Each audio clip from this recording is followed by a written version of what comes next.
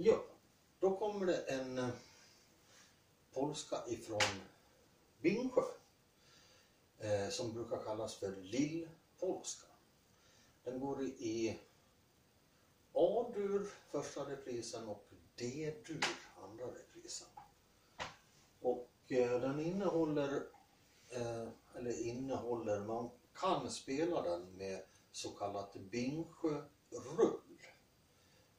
Alltså något ett slags rullstråk som egentligen mera skulle kallas för gungstråk.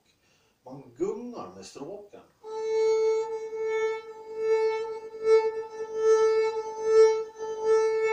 Man kan göra det på en sträng eller man kan göra det på dutta till strängen bredvid.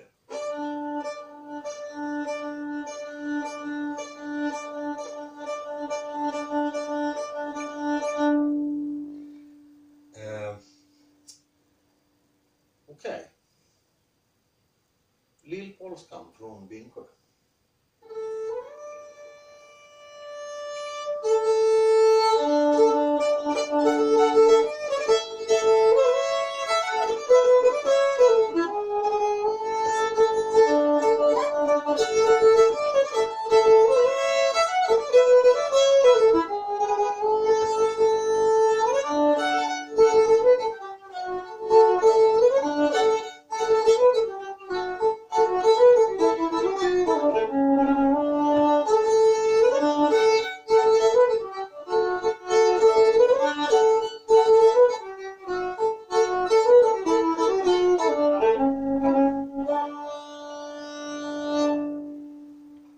Och sakta.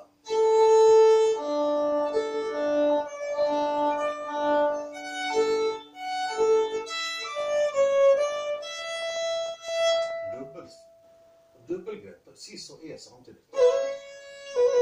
Då är bakåt in.